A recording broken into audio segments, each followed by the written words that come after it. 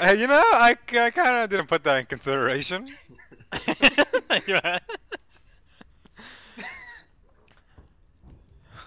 you setting me on fire. My.